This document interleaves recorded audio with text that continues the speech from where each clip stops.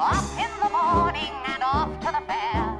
Every man and his dog will be there.